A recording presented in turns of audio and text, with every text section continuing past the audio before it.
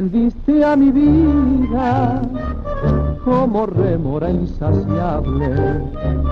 Te metiste con mentira en mi amada soledad y te fuiste una noche cuando más necesitaba una mano cariñosa, una amiga de verdad te llevaste hasta mi ropa, me dejaste sin un pobre, y hoy que te han hecho lo mismo, pretendes una pensión.